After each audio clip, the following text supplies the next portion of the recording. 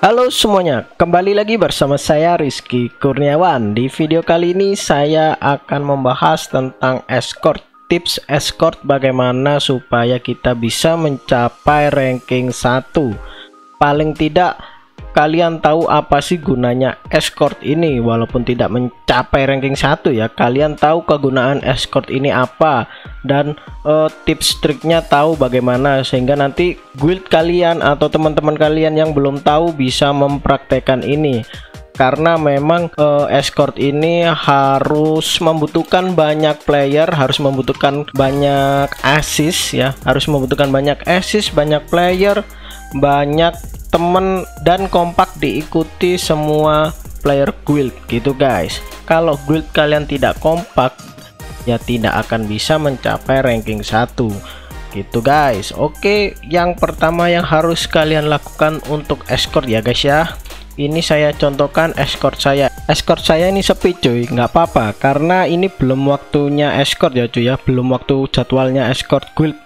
Tapi nggak apa-apa ini saya contohkan karena ada beberapa yang harus kalian ketahui berapa player assist yang harus dikerahkan untuk mendapatkan percepatan maksimal cuy.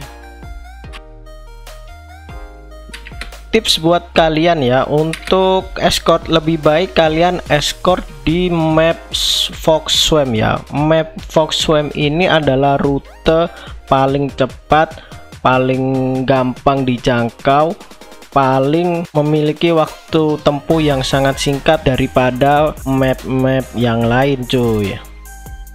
Oke bisa kalian perhatikan di sini cuy. Bentar kita mundur dulu ya. Oke. Sebelum kita ngambil buff speed ini percepatan awal solo ini kan saya lagi solo nih ya. Ini menambahkan kecepatan 8% Artinya kalau kalian nggak ada yang assist sama sekali tanpa mengambil buff juga ini kecepatan menambah 8% cuy. Kalian perhatikan ketika saya ambil buff ini satu dua ada dua buff yang saya ambil di situ guys ya.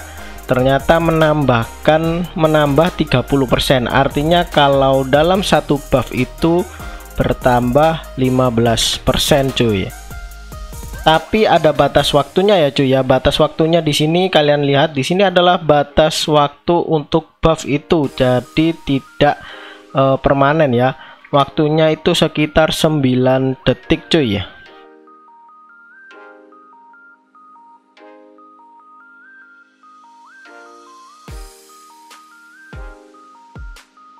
Nah, di sini percepatan saya hanya nambah 15% karena tadi saya mengambil satu buff saja dan waktunya tinggal satu detik lagi dia akan kembali ke 8% pastinya. Nah, ini ada teman gua satu ya, cuy ya. Teman gua ini satu ikut.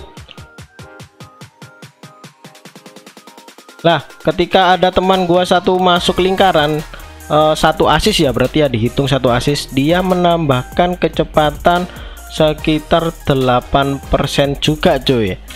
Ya ketika saya ngambil buff lagi nambah 15% 15 ditambah 8 sama dengan 23% ya 23 karena yang teman-teman saya ini di luar lingkaran yang harus ditentukan jadi berkurang 8 akhirnya percepatannya menjadi 23% saya ambil buff lagi naik 46% cuy Nah, kenapa kok naik 46%?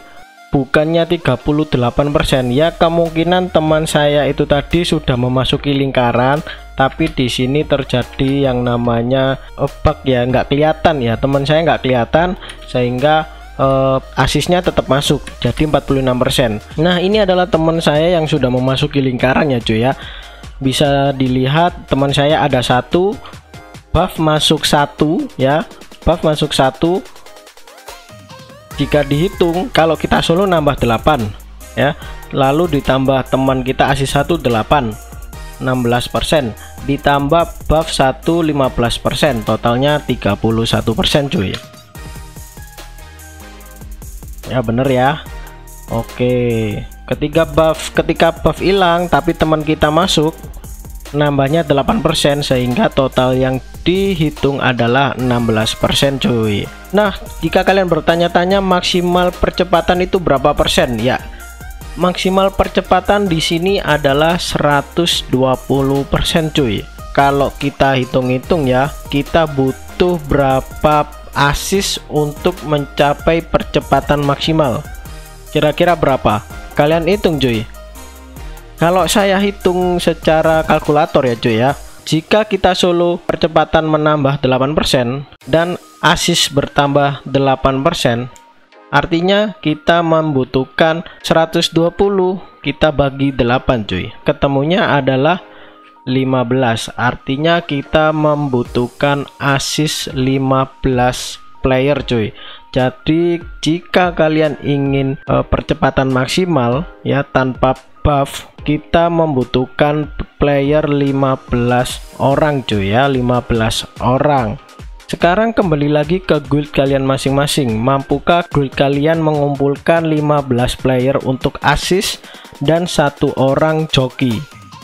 Oke itu adalah penjelasan tentang escort guild. Semoga kalian paham apa yang saya jelaskan cuy untuk escort guild yang ranking 1 ya dipastikan guild itu pasti rame ya cuy ya. Kalau yang masih di bawah-bawah ya bisa dibilang guildnya sepi. Ya yang ranking 1 dijamin guildnya kompak rame dan masih produktif. Jadi buat kalian yang guildnya sepi kalian bisa pindah ke guild yang rame supaya mendapatkan hadiah-hadiah yang diberikan dari escort guild cuy. Oke sekian dulu video kali ini. Semoga kalian paham ya cuy ya. Semoga kalian terbantu. Jangan lupa subscribe karena subscribe itu gratis. Dan saya perlu dukungan kalian supaya saya tetap semangat terus membuat video-video tentang game TLON The Legend of Neverland atau game-game lainnya cuy. Thank you sampai jumpa